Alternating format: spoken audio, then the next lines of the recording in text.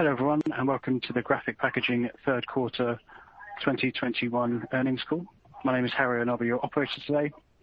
If you'd like to ask a question during the Q&A session, you may do so by pressing star followed by one on your telephone keypad. We respectfully ask that you please limit yourselves to one question and one follow-up as time is pressing. I'll now hand the call over to your host, Vice President of Investor Relations, Melanie Skijus. Melanie, please go ahead. Good morning, and welcome to Graphic Packaging Holding Company's third quarter 2021 earnings call. Joining us on our call today are Mike Doss, the company's President and CEO, and Steve Scherger, Executive Vice President and CFO. To help you follow along with today's call, we will be referencing our third quarter earnings presentation, which can be accessed through the webcast via self-directed slides and also on the investor section of our website at www.graphicpkg.com. Before I turn the call over to Mike, let me remind you that today's press release and the presentations made by our executives include forward-looking statements as defined in the Private Securities Litigation Reform Act of 1995. These statements are subject to risks and uncertainties that could cause actual results to differ materially from our expectations and projections. These risks and uncertainties include, but are not limited to, the factors identified in the release and in our filings with the Securities and Exchange Commission. Now, let me turn the call over to Mike. Thank you, Melanie. Good morning to everyone joining us on the call and webcast this morning. Our performance in the quarter was strong. We successfully navigated a complex supply chain and labor environment. We raised prices where necessary to offset accelerated commodity input cost inflation. We received the required regulatory approvals for our AR Packaging acquisition, and made significant strides towards completion of our transformational CRB platform optimization project. All of these accomplishments are aligned with the goals we established with Vision 2025 and have us on track to meet or exceed our long-term aspirations for the business. Demand for more sustainable and circular packaging options continues to accelerate globally. The ongoing evolution to practice and promote more environmentally responsible behaviors is evidenced by the increasing number of new pledges made by global corporations to eliminate waste and increase the focus on recyclability, all supportive of commitments to lowering carbon footprints. Examples include proactive announcements by retailers around the world moving to minimize the impact that packaging has on our planet. Consumers are making their preferences known, and companies that are serving them are responding. The fiber-based packaging solutions we are developing and the role we play in providing consumers with packaging choices to promote a more sustainable and circular economy provide our employees with an immense sense of pride. This shows through our continued innovation and new product development initiatives, along with service levels we provide our customers in today's very challenging supply and labor environment. We established Vision 2025 in September of 2019 and have demonstrated a very real pivot to organic growth since that time. While Q3 organic sales declined slightly, we still expect to deliver organic sales growth in 2021 at the high end of our 100-200 basis points annual target on top of the 4% organic growth we generated in 2020. On slide three, let me cover additional highlights from the third quarter. We have been successful in positioning the company to capture growth opportunities in this very strong demand environment.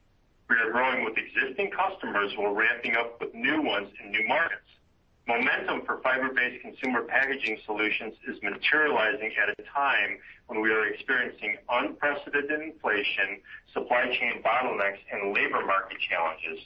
We estimate that the constraints in supply and labor markets resulted in approximately $25 million in delayed sales in the third quarter. We delivered strong adjusted EBITDA growth of $284 million, up 14% year-over-year. EBITDA growth was driven by positive price realization of $53 million and favorable net performance of $79 million, which offset unprecedented commodity input cost inflation of $88 million experienced in the quarter. The current environment, with all its twists and turns, is not deterring us from the focus on meeting or exceeding our Vision 2025 goals and capturing global demand for sustainable packaging solutions. Our dedicated teams are working tirelessly to keep customers in supply while backlogs remain elevated across all our paperboard substrates. As a result of the continued inflation in commodity input costs, we have taken swift pricing actions to recover the price cost dislocation we are experiencing this year. We committed to you that price would offset commodity input costs over time and that any dislocation would be short-lived. We are delivering on that promise.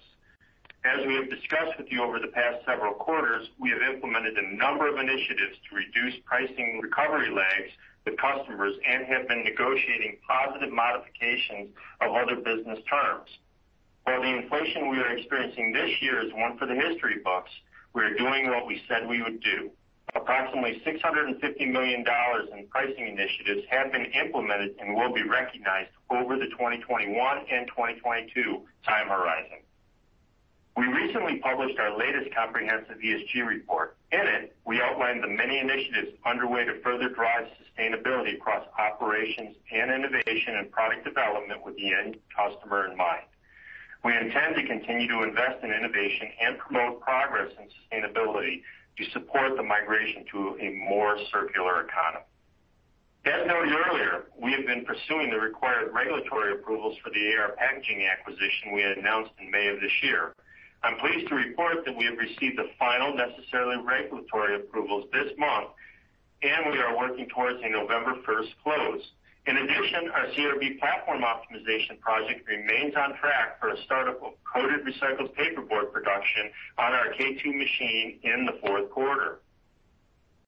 Turning now to slide four, you will see the innovation powerhouse that the combination of AR Packaging will create. The large distributed footprint of AR Packaging's 25 converting facilities across Eastern and Western Europe add significant scale and cost efficiency benefits. The completion of this transformational acquisition extends our global reach, expands our service offerings, and advances our commitment to sustainable packaging solutions for customers around the world. We intend to share our growth plans and milestones for the integration of AR Packaging, along with an update on Vision 2025 when we report our fourth quarter and full year 2021 results. We will do this at an investor meeting on February 17th in New York City, where we look forward to hosting many of you in person, while also providing a webcast for those of you who will need to attend remotely. Turning to slide five, and a second extremely impactful and well-timed strategic initiative, you can see the picture of our new state-of-the-art K2 CRB machine. Our team is executing a significant investment in our paperboard capabilities. The build-out and startup of the K2 machine in Kalamazoo, Michigan, is the largest component of our CRB platform optimization project, and we are on track for paperboard production to begin in the fourth quarter. We are well into the operational readiness phase. We have our teams in place, and we are completing the most extensive training effort in our company's history.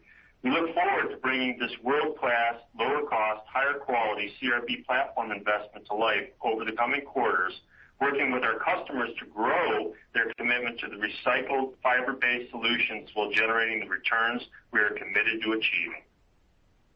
Turning to slide six, I will provide a few additional remarks on the current environment for pricing and the positive momentum we have to offset historically high commodity input cost inflation. We have executed $63 million of positive price that has flowed through the business over the first nine months of 2021, and we expect to realize approximately $77 million of positive pricing during the fourth quarter. We're currently targeting $510 million of pricing in 2022 based on implemented and recognized pricing initiatives. The price actions are intended to fully offset the inflation we are experiencing across a wide array of commodity input costs. In total, at this point, we expect to execute approximately $650 million in price actions over the 2021 and 2022 time horizon. As I've shared today, global demand for fiber-based packaging solutions continues to grow. On slide seven, let me touch on the steady and consistent nature of the value paperboard substrates have earned over time. Over the 15-year period captured here, you can see the steady but increasing pricing for our paperboard substrates. This can be attributed to a healthy underlying demand for paperboard solutions, supply at levels required to meet customer demand, and the introduction of new packaging solutions driving growth in existing and new addressable markets. Before I turn the call over to Steve for a more in-depth discussion of our financials and guidance, I'd like to take a minute on slide eight to reflect on the organic growth we have generated since 2019. We surpassed our net organic sales growth goal in 2020, delivering 4% growth, and we expect to deliver at the high end of our targeted 100 to 200 basis points goal this year. Notably, this year's expected net organic growth of approximately 200 basis points reflects growth on top of the very strong growth we drove in 2020. The year-to-date picture on the slide tells the same story. Net organic sales have experienced growth of 2% compared to the same period in 2020, and the two-year compounded annual growth rate for organic sales since 2019 is 3%. This trajectory is consistent with our organic growth expectations for the business as we continue to see conversions to fiber-based packaging solutions. We have positioned the company to capture growth opportunities in the years ahead, and we have accomplished a great deal so far this year. We look forward to closing the acquisition of AR Packaging in the next week and the startup of our K2 machine in the fourth quarter. Simply put, we're running a different race. The strategic priorities we are focused on and executing are redefining our leadership in the industry. With that, I will now turn the call over to Steve. Thanks, Mike, and good morning. Moving to slide nine, focused on key financial highlights. Net sales increased 5% or $84 million from the prior year period to $1.8 billion. The year-over-year increase in sales was driven by higher pricing flowing through the business and acquisitions. Adjusted EBITDA increased 14% to $284 million, resulting in an improved adjusted EBITDA margin of 15.9%. Adjusted earnings per share grew 31% to $0.34 a share. Finally, our integration rate increased to 73% as we continue to internalize more paperboard into our converting operations. On slides 10 and 11, you'll see our revenue and EBITDA waterfalls. The drivers of the 5% year-over-year increase in sales were $53 million in pricing, $20 million of higher volume mix, and $11 million of favorable foreign exchange. Adjusted EBITDA increased $34 million or 14% year-over-year to $284 million in the third quarter versus the prior year period. The increase is notable given accelerated commodity input cost inflation that materialized in the quarter. Adjusted EBITDA growth was driven by $53 million in price, $3 million in volume mix, and $79 million in improved net productivity. Adjusted EBITDA was unfavorably impacted by $88 million of commodity input cost inflation and $13 million of labor. Additional financial and market detail. Our food service business continued to recover from last year, growing 11% year-over-year. Sales improved 3%, including acquisitions. Mike pointed to $25 million in delayed sales resulting from supply chain and labor market constraints during the quarter.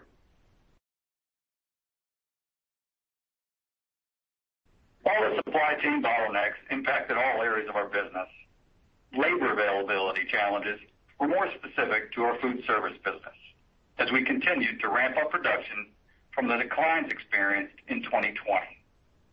Without these delayed sales, net organic sales growth would have been flat for the quarter in line with our expectations. AF&PA industry operating rates were strong again in the third quarter.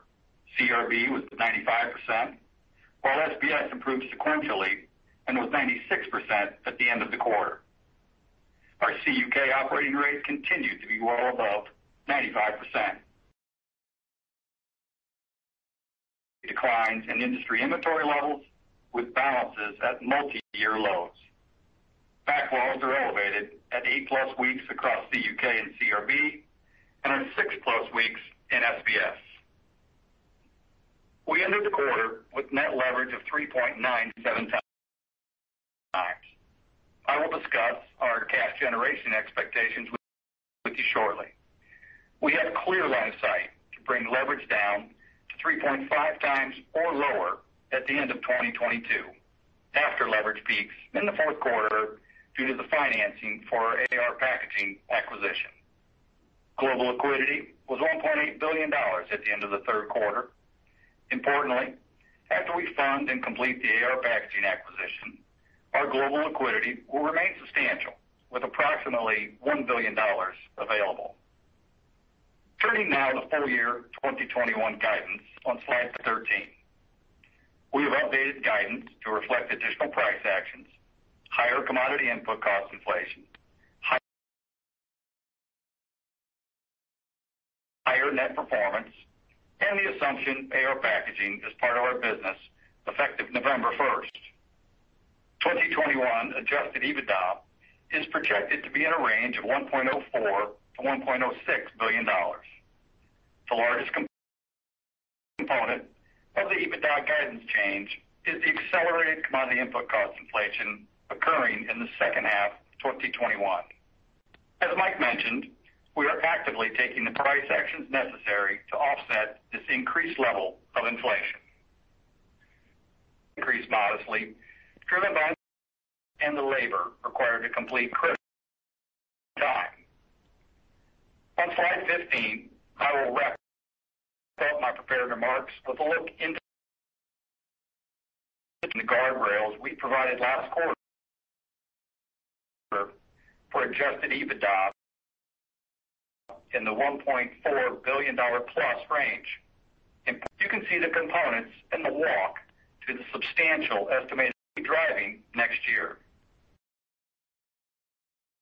AR Packaging and Americraft are expected to contribute $160 million and $30 million before synergies, respectively. Reasonable to assume at least $20 million from our traditional EBITDA drivers of volume mix and net performance, more than offsetting labor, benefits, other inflation, and FX. The first $50 million of incremental EBITDA from our Kalamazoo project and a minimum recovery of $170 million of 2021 price cost dislocation provides a clear step change higher to adjusted EBITDA of $1.4 billion plus in 2022. The significant expected growth in EBITDA, coupled with our commitment to meaningfully lower capital expenditures next year following the large capital project at Kalamazoo, results in significant cash flow generation. The material EBITDA growth and cash flow generation projections give us line of sight to year-end 2022 leverage at 3.5x or lower. We look forward to providing you with more detailed 2022 guidance when we meet with you in February. Thank you for your time this morning. I'll now turn the call back to the operator for questions. Thank you. And as a reminder, if you would like to ask a question today, you may do so by pressing star followed by one on your telephone keypad now. In the interest of time, we respectfully ask that you please limit yourselves to one question and one follow-up each. And when preparing to ask your question, please ensure that your phone is unmuted locally. And our first question comes from Mark Wilde of Bank of Montreal. Mark, your line is open now if you would like to proceed with your question.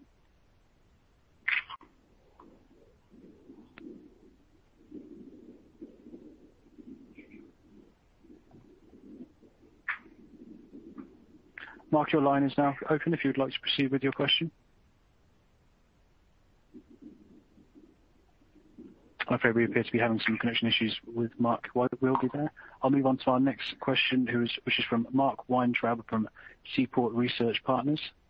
Mark, your line is now open if you would like to proceed with your question. Thank you. Um, Last quarter, I believe you had uh, indicated that uh, the rollover impact from inflation at that point in time uh, to 2022, you would have gauged at roughly $50 million-$75 million, if I remember correctly.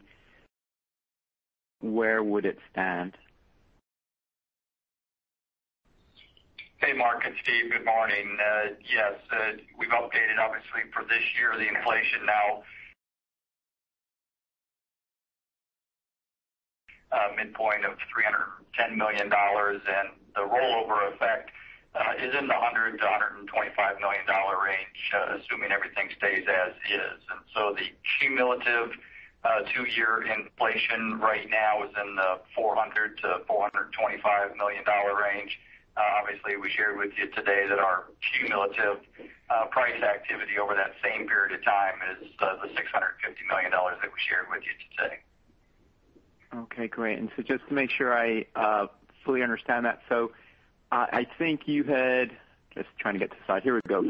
So you talked about $510 million uh, on the pricing side for 2022, recognizing that there certainly can be a lot more inflation or not from where we are today. So if we think about the price cost, if things were to be fixed today, can we take the 510 and subtract the $100-$125, and that would be a starting number for 2022? Again, recognizing that we can get more inflation from here. Is that fair, or am I missing something? Well, I think the way you want to make sure you think about it, Mark, is we have very clear line of sight to $510 million of pricing next year based upon known and recognized activities. It's roughly $250 a ton across the three primary substrates, along with our uh, cost models.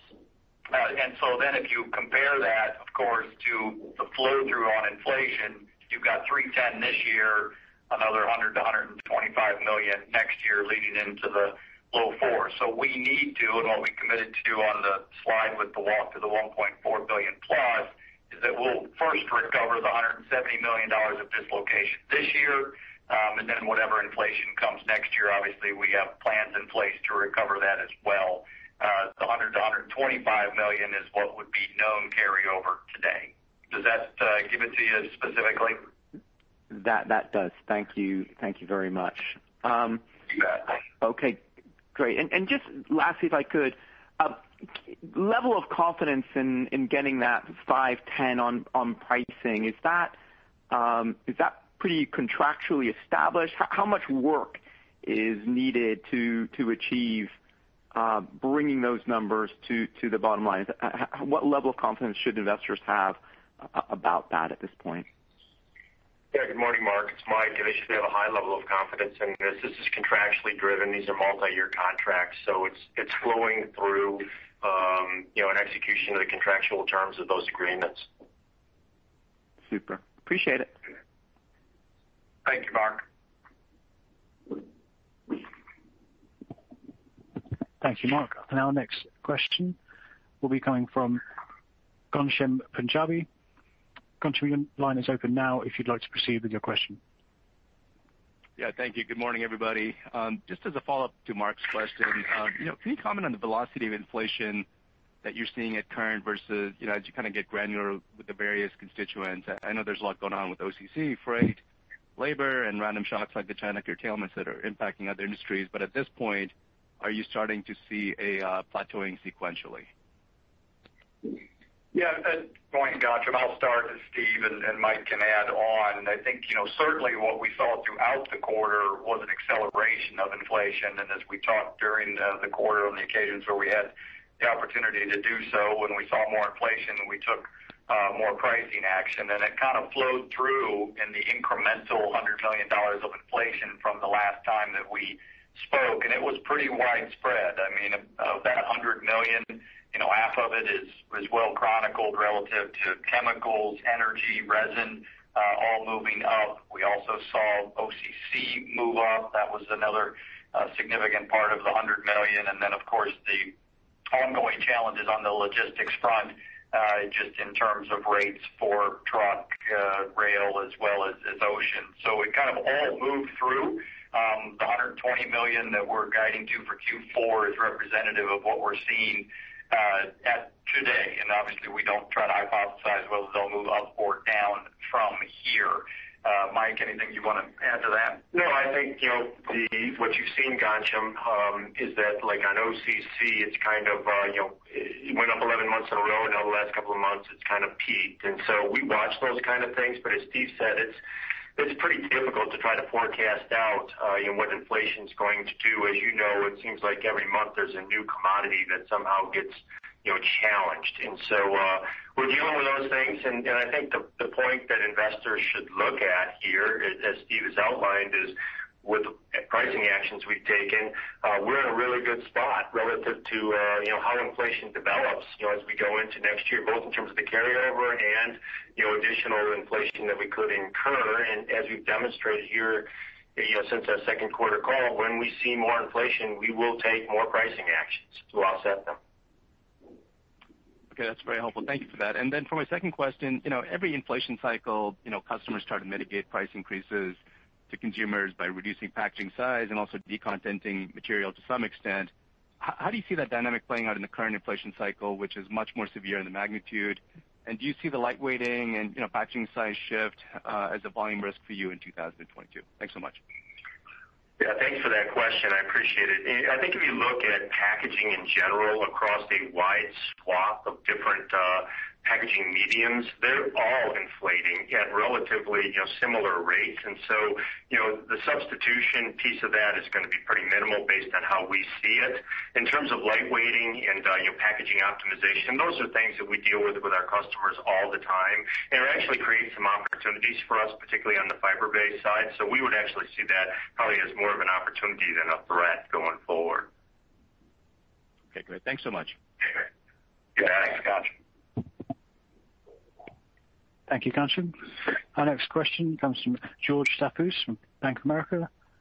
George, your line will be open now if you would like to proceed with your question. Thanks very much. Hi, guys. Good morning. Uh, thanks for all the details.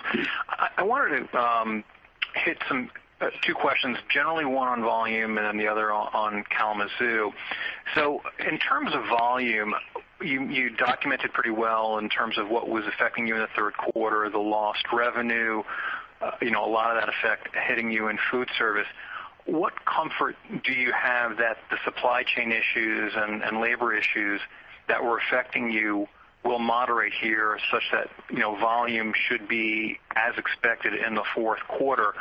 And aside from food service, can you talk a bit about where you're seeing particular strength uh, for your products, especially the new products, Mike?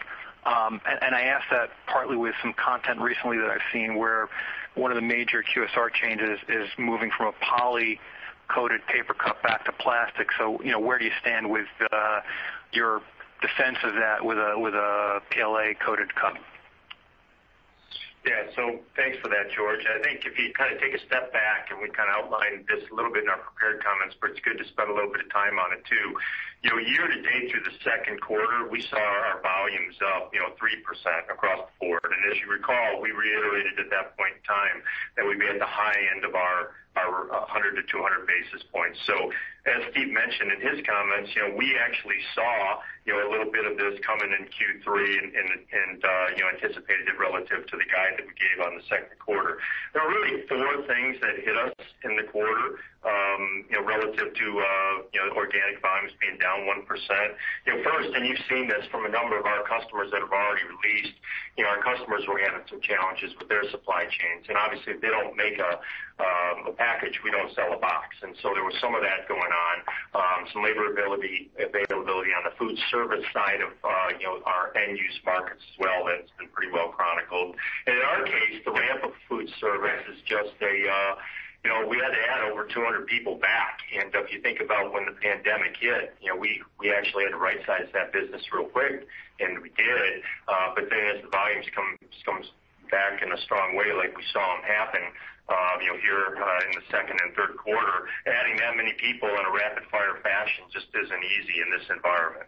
Um, our our labor issues are fairly discrete in our food service business. Yes, we see it really across our platform, but uh, in terms of the impact on uh, volumes, it would've been in the food service business. So we have the demand. The issue is getting the people there so we can actually execute, and we've made some progress in our third quarter as we go into the fourth quarter. So that's part of the comfort that you hear from me. We also lost a facility uh you know for about two months in the Northeast as a part of Hurricane Ida. It just got flooded out, and uh so we had to move all that volume around, and that cost us a little bit of sales in the quarter. And then lastly, uh, some of the open market paperboard that we buy in Europe just became difficult to get uh you know in some cases. And so uh you know that slowed us down a little bit in the European platform. Again, we have plenty of demand. The issue is getting the materials that we need in order to process them and actually get them out the door. So when you put that all together, we see some of those things abating, as I mentioned, as we're in the fourth quarter here, and we expect to uh you return more towards that you higher part of that 100 to 200 basis points and finish the year strong. George, just to add to Mike's uh, point around the momentum on the innovation front. I mean, overall, our momentum for fiber-based conversions, whether it's uh, foam cups continuing to convert over to fiber-based solutions or KeelClip solutions in Europe expanding globally, or our PaperSeal solution uh, gaining significant traction around meats and cheeses and other perimeter of the store activities. Those items, as we've talked quite a bit, give us confidence that the 100 to 200 basis points of organic growth that we've experienced over the last two years will continue uh, as we move into 2022. Okay.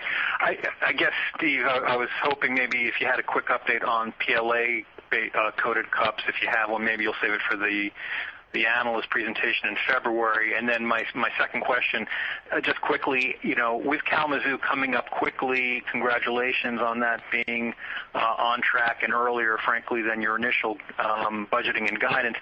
There's been some reports about the reaction in the community to the growth of the Kalamazoo project. Can you comment how you're being received in the community? There's also been some discussion about uh you know your tax benefits that you're getting in the facility. Anything that we should be aware of in terms of how that project will drive return and growth for Graphic going forward? Thank you, guys. Yeah. So um thanks for the question. I'll deal with the mention Kalamazoo here in terms of our project. Yeah, We're actually on our original schedule. We expect to make paperboard here in the Q4 um, towards the end of the quarter. Um, it's important that we do because we absolutely need that paperboard to operate our business. We've got a lot of demand from customers uh, that we actually need that tonnage coming online. Relative to some of the reports and uh, you know that come out around some of the uh, odor complaints, I think is what you're referencing. I'd characterize those as kind of normal course. We're dealing with those uh you know, through normal channels. And there's really, from a return standpoint on the project, we're investing well over $600 million, as you know. It's a state-of-the-art facility, and it'll have the capability to uh, be a great citizen in that community and ultimately uh, uh, drive the jobs and additional production that we committed to when we started. And, George, very briefly, OptiCycle, we like the customer trialing that's going on. We've got good momentum that we'll share more with you as we kind of embark around Uh, into 2022. I'm sure we'll talk about that specifically when we describe our overall innovation efforts when we're together uh, February 17th. Sounds good. Thanks, guys. Good luck in the quarter. Thanks, George. Thank you, George. Our next question is from Mark Wilde from Bank of Montreal. Mark, your line is now open if you'd like to proceed with your question. Yeah. Good morning, Mike. Good morning, Steve. Hey, Mark. Uh, Mike, I just wanted to start, if you could help us just unpack what's gone on here in the cardboard market over the last three to six months, because it's really been a very sharp turn in the market. Just trying to get some sense of of how you understand it, you know, the pickup in domestic demand, but perhaps you know, set against maybe some uh, difficulties bringing. Yeah, thanks for that, Mark. I think you've answered part of it. I would also add, as you know, in 2019 and early 2020, the paper machine down. Um, you know, we obviously shut down a small recycled paperboard mill in conjunction with our project in Kalamazoo. At the same time, you've got strong demand. I mean take a look at our demand. We're up compounded 3% on volumes over that two-year period of time. We've got a high market share, as you know, approaching 40%. Um and so uh when you look at some of the dislocations and shipping challenges that some of the importers have had to deal with, that has created a real desire for Uh, domestic production and thus uh, you know, the operating rates uh, you know, being you know, above 95%, in some cases 97. Backlogs at uh you know multi-year you know highs and industry inventories, as Steve mentioned in his prepared comments, you know, really down across all three grades. And so that's really the dynamic that is going on. Um and again, why you know, our startup of our mill in Kalamazoo is so strategic. You know, the timing of it just couldn't be better relative to the demand we see Uh, out there because we'll have tons that'll be able to help our customers meet their objectives. And uh, these will be some of the highest quality, lowest cost uh, CRB tons in the world. So we like that project better today than we did when we announced it. We liked it when we announced it. So um, I think that gives you a little color on what we see here.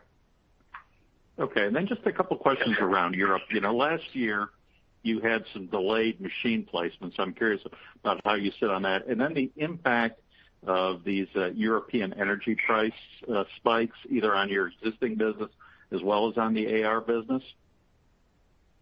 Yeah. Thanks for that, Mark.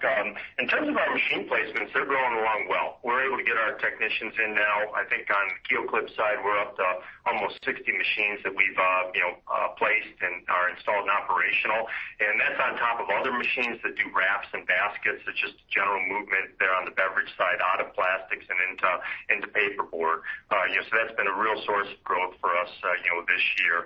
In regards to energy rates in Europe, as you know, we're converting only over there. Even with AR Packaging, they're converting only. So the actual impact of nat gas on our direct operations is relatively small. Obviously, we buy the paperboard, and you've seen you know, kind of rapid fire, a bunch of increases in surcharges that have uh, gone up by European producers on that material. And the way that our contracts read, those will be pass-alongs that we we tag on to the increases. You know, they are as we talked about uh, when we announced the deal with AR, those tenders tend to be a shorter duration and have more frequent openers because the vast majority of people who make folding cartons in Europe are not integrated. Okay, that's helpful. I'll turn it over. Thanks, Mike. Thanks, Mark. Thanks, Mark. Thank you very much, Mark. And our next question comes from Gabe Hajde from Wells Fargo. Gabe, your line will be open now if you would like to proceed with your question. Good morning, Mike, Steve. Thank you. Um, I hate to harp on the inflation point here, but and to be clear, I guess, you know, your and industry efforts to maintain or you know, and even enhance margins uh, with price increases is pretty encouraging. If I want to sort of stress test the assumption that you gave us um, kind of for the fourth quarter in terms of inflation and then heading into 2022, um, you know, even just in the fourth quarter or the second half, I want to say it's going to be around you know, 120 million for the fourth quarter, 210 for the second half, but you're telling us $100 million-$125 million for next year. Um so I'm curious if that's if there's timing and something related to the cadence of that. Um, that says, okay, maybe things taper off in the back half of 2022. and then On the labor and benefit bucket that is kind of consistently in that 50 million range, um, could this maybe run a little bit hotter next year? I appreciate the magnitude is not nearly as big as an input cost, but maybe 60 million just given where labor and benefit markets are today. Yeah, Gabe, it's Steve. Uh, you answered the second question uh, almost as you did. I think we'll likely see our labor and benefits inflation be at the higher end of our range next year. Uh, and that's kind of in the guardrails that we provided, to just given some of the realities that we've been talking about relative to labor availability and some wage inflation. Uh but to your commodity input cost inflation question, as we've talked, we're not we're not forecasting 2022 inflation at this point. But what we are sharing is that if everything kind of stayed as is, and a lot of this acceleration here occurred in the second half. So you're right, you've got 200+ million in the second half of the year. If things stay where they are and you and you compare that then to the prior year, the rollover is in that $100 million-$125 million range, mostly because most of the acceleration, true acceleration has occurred in the second half of the year. And so most of the inflation uh, on the carryover would be occurring in the first half of next year. And again, that's not a forecast. That's important. Uh, but it is the carryover uh, in terms of as you're pressure testing it. Okay. And then I guess, again, sticking with inflation, and I apologize. Um, you know, to the extent that I'm hearing uh, food and beverage brand owners talk about you know potentially 20%-25% inflation um, as they roll this this inflation through the grocery channel, et cetera, um, and how consumers might respond um, you know, when they're spending their dollars on this. You know, what is your experience when you've seen this this kind of inflation um, in terms of, I guess, demand elasticity for the products that you serve? You know, do you see any kind of potential that consumers trade down, and is that a net positive uh, for you or a potential risk as we head into 2022? Yeah, Gabe, thanks for the question. It's a great question. I think, look, I can't tell you that we've seen this exact experience relative to the amount of inflation that's flowing through, at least not recently. This is a couple of decades since we've seen this kind of uh you know, input cost inflation uh, you know, shocks. I mean I think the thing that I point to for a Graphic and what positions us uniquely in the marketplace is 95% of everything we do is food and beverage based. So you're right. There may be some trade downs. You know, maybe instead of buying branded, I go to store brand.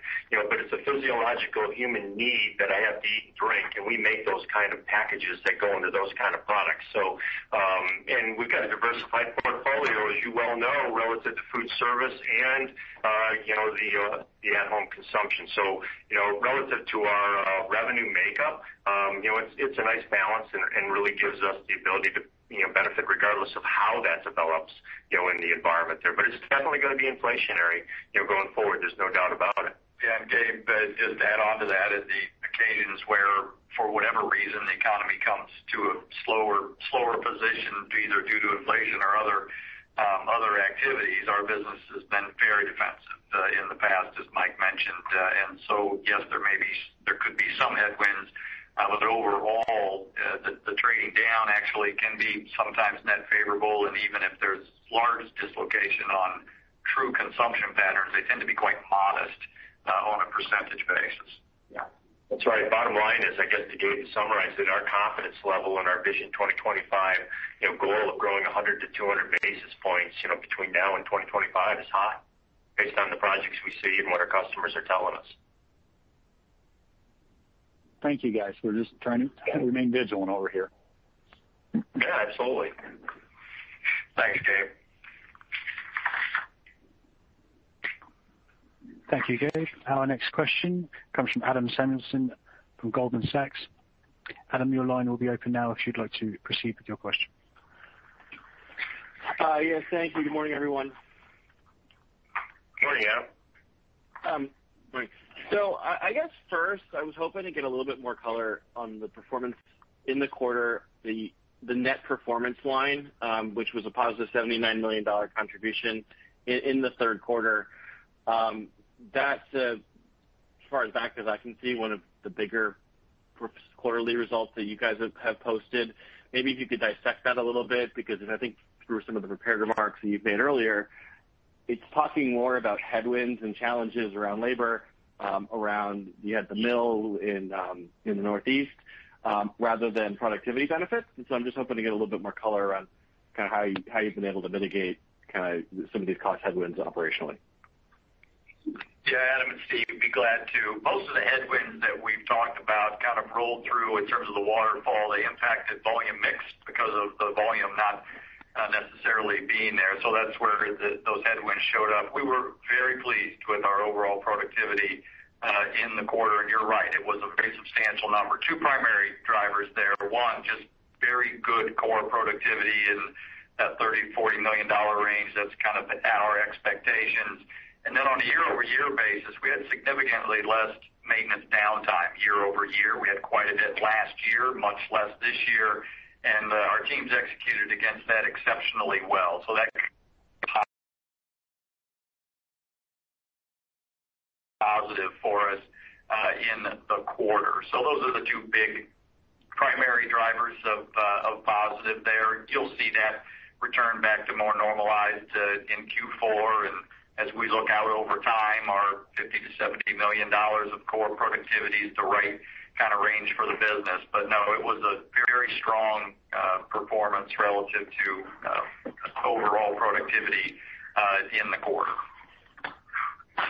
Okay. Um, that's really helpful. And there's been a lot of discussion on the price weighting kind of the future progression of some of these commodity markets.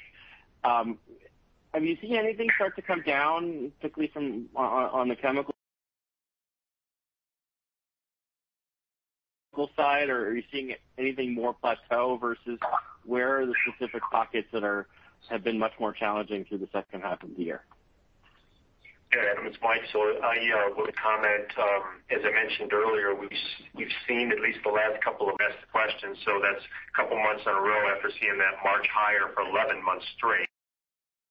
Move down you know, slightly, uh, not materially. They're still elevated uh, you know, quite high on a year-over-year basis, almost 100% on some of the grades we buy. Um, but uh, they have gone down. They've ticked down just slightly. So we're watching those things. Um, on the other side of things, we've seen some wood inflation that is growing, particularly on hardwood and some of the baskets we're in. But that's that's all in the guide that Steve gave you, and it's all consistent with the inflationary uh, expectations we outlined for both Q4 and the carryover into 2022. Okay. Uh, that color does that.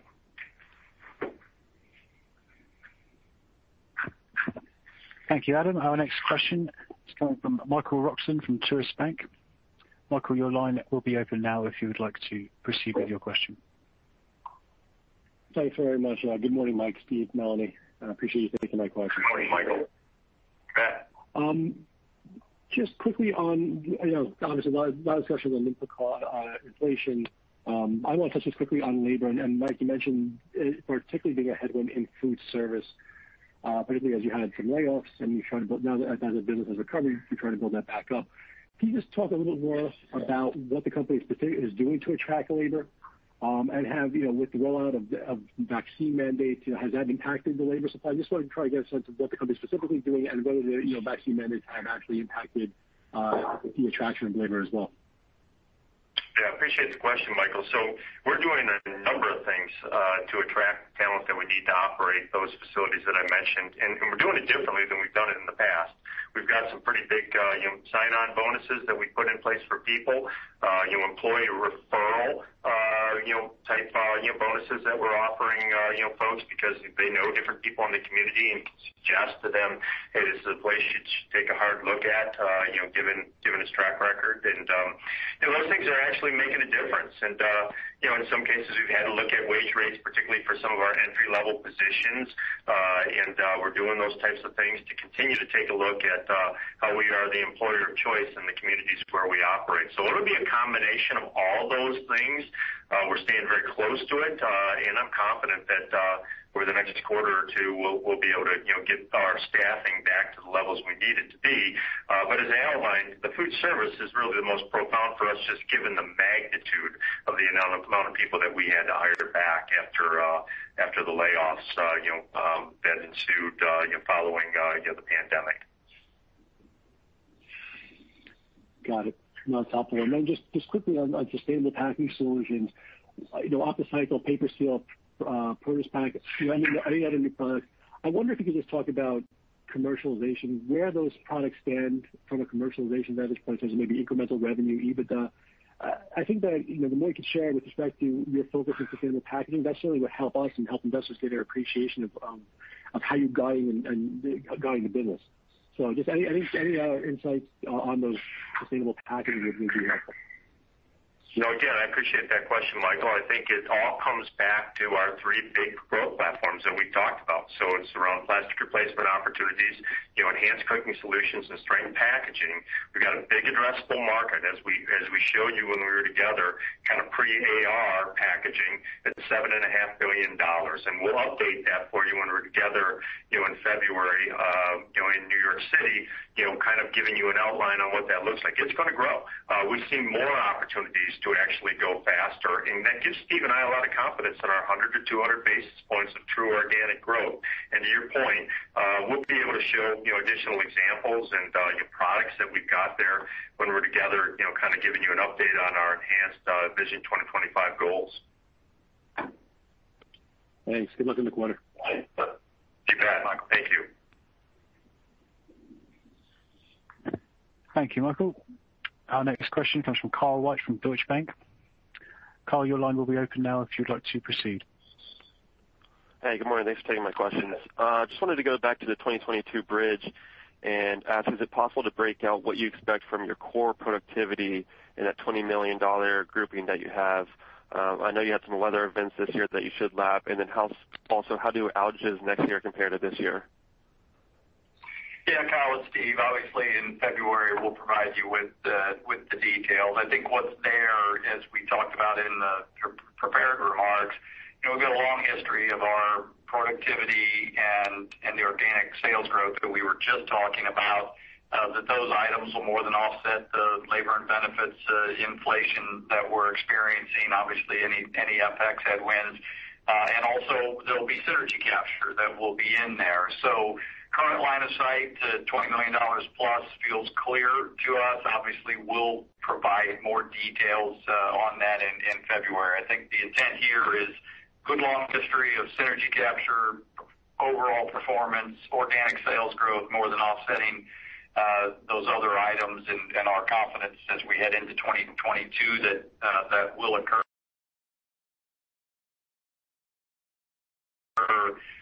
is high. Got it. And then on the Kalamazoo project, are there any startup costs associated with bringing that up? And should we expect the $50 million benefit uh, to begin rolling through uh, in 1Q on kind of a flatline basis, or will it take some time to kind of ramp up? There'll be a little bit of ramping, Kyle. I think you know, modest benefits in Q1, and then we would expect to see more as we kind of uh, roll in. The uh, one-time costs or redundancy costs are relatively modest, and we'll do more and be making product uh, in Q1. But I think the benefits themselves will be a little more weighted Q2 and beyond as production and high-quality production ramps up. I'll turn it over. Thanks, Kyle.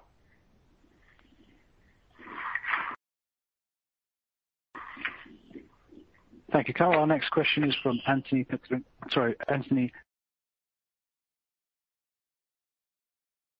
Pettinari from Citi. Anthony, your line will be open if you would like to proceed. Uh, good morning. Um, On on capital allocation, you're you're closing AR soon, and you have a CapEx cycle that rolls off next year. I'm just wondering if you could talk about uh, you know, either the appetite or the ability to pursue additional acquisitions as you integrate AR, or is now sort of time for kind of a natural pause? And then just kind of remind us where you'd like to be from a leverage perspective maybe next year. Yeah. So I'll I'll take a shot at it and let Steve uh you know provide a little color too, Anthony. Thanks for the question. You know, from our standpoint, we love the setup we've got going into 2022. Look at the catalysts we've got in front of us between AR Packaging. Timing of that looks excellent uh with the growth of consumer fiber-based packaging. We've got Kalamazoo starting up. Uh we've got to deliver on you know, the $100 million of EBITDA growth there, 50 and 50 over the next couple of years. So um and when you look at all that, you know, our leverage is going to be elevated here at year-end uh, you know, because we'll we'll take the debt on for the AR Packaging. So I think what you should think about us in 2022, it's a heads-down year for us focused on uh you know kind of taking advantage of the investments we've made and delivering on those. Uh, we've got clear sign line of sight in terms of what needs to happen. As Steve mentioned in his prepared comments, you know, we feel confident we'll be at 3.5 times levered uh, at year-end on 2022 um, or lower. Uh, and when we did AR, we told you that by 2023, we want to be at three times. So um that's kind of where we're focused on. It's not to say that uh we wouldn't look at something if it came up, but uh you know, we our CapEx is going to go back to a more normalized rate. But we've got uh you know the projects uh that I've outlined in front of you that give us you know, good synergy things to work on and value creation for shareholders. And we want to stay focused on that stuff uh at least into 2022. Okay. Okay, that's helpful. Um and then just just following up on Mark Wilde's question on the global boxboard market. You know, assuming you know freight rates or ocean freight rates kind of improve or normalize at some point next year, do you think it's the case that you know, significant import pressure could come back in SBS and maybe CRB? Or do you think it's more the case that you know some of this capacity is uh, either no longer running or maybe not in a cost position to impact the U.S. market? And I guess I'm thinking about the Chinese shutting down some capacity and the Europeans dealing with some of these cost issues. Just kind of curious what your take is. Yeah, I guess as I sit here today, you know, first off, I I don't see ocean rates coming down materially. You know. So maybe some of the congestion will will clean up, but uh, you know, we expect uh you know, freight, as we've told you you know, for several quarters now, to be structural in nature, both in terms of you know, ship, rail, and truck. Uh and that really you know, inures to our benefit you know, given the wide platform that we operate and how we built the company. So um, you know, that I'd start with that point. And then in terms of what's happening in Europe, Um, as I mentioned, you know, with what we're seeing on the beverage side, there's even more growth of consumer fiber-based packaging in Europe replacing single-use plastics in that market. So those producers over there, particularly with higher freight and dislocation on shipping costs, they're going to want to service that market first. and As you answered part of that question, you know, think about what's happening with GD board in that market compared to their version of recycled versus some of the virgin grades. You know, you've got uh you know natural gas prices approaching $30 an MMBtu. So um there's going to be a lot of demand for fiber in that market. And uh to the degree those producers can move it into that market, I'm sure they'd want to, just like we would want to do that here you know, domestically. Um, we're in that market now in a material way. As I mentioned to you, with AR Packaging, we'll be the largest purchaser of paperboard. So we've got good knowledge of what's going on, um, and that's going to help us drive our agenda going forward here. Um and we like the positioning that we've uh, established for the company on a combined basis. Okay. That's very helpful. I'll turn it over.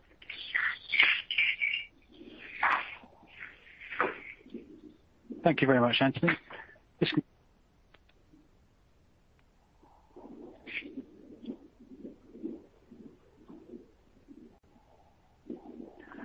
Thank you, Anthony. And that concludes today's Q&A session. I'll hand back to Mike Doss for any closing remarks. Thank you for everyone for joining us today. We look forward to seeing many of you on February 17th in New York City, where we will outline our fourth quarter results and full-year results, provide a detailed outlook for 2022, and update you on AR Packaging integration and growth opportunities. Finally, we want to be able to spend some time talking about our updated Vision 2025 milestones incorporating the catalysts that we discussed today. With that, hope you have a great day, and we look forward to talking to you again soon.